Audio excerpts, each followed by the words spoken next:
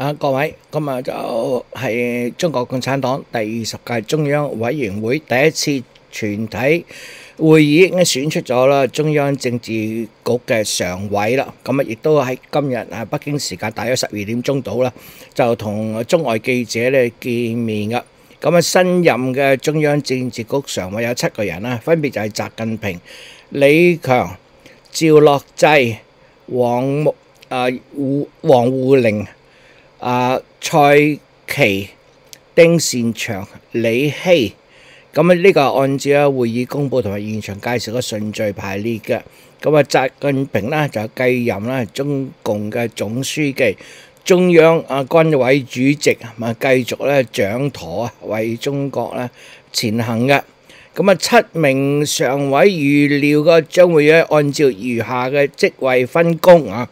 咁啊，就其中咧就有兩個李希同埋咧係蔡奇嘅職位咧已經啊確定啊公佈咗噶啦，其他就按照啊以往慣例咧嚟到預測嘅。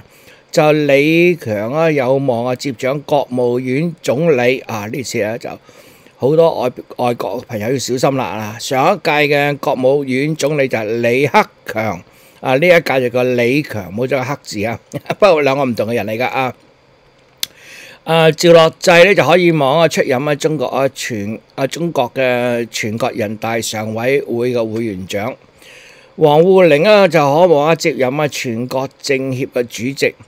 蔡奇咧就確定啊出咦用確定啊啊出任啊講咗啦係確定啊出任啊就係中央中啊中共中央書記處嘅排名第一書記丁薛祥啊有望啊接啊。任咧國務院排名第一嘅副總理，咁啊李希咧就會擔任啊中紀委書記啊，咁啊按照啊啊呢個冇冇其他啊，好啦，咁啊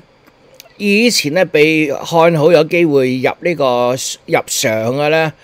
而擔任重要角色嘅啊胡春華就入唔到啊呢二十四名嘅中央政治局委員名單啦。咁啊，習近平話呢，佢會被選舉繼續擔任中共嘅中央總書記。佢表示啊，而家嘅中國呢，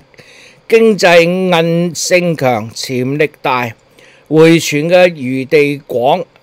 長期向好嘅基本面啊，唔會改變噶。中國開放嘅大門只會越開越大啊！咁啊，將堅定不移全面深化改革開放，堅定不移咧推動高質量發展，以自身發展為世界創造更多嘅機遇啊！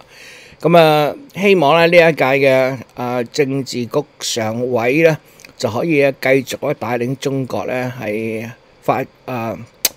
繼續啊國富民強啊！